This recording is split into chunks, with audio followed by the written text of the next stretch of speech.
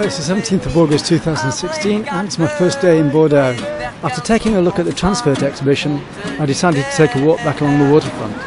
This took me to the water feature at Place de la Bourse, next to the Museum des, Douanes, very popular for bathing tourists on long hot summer days.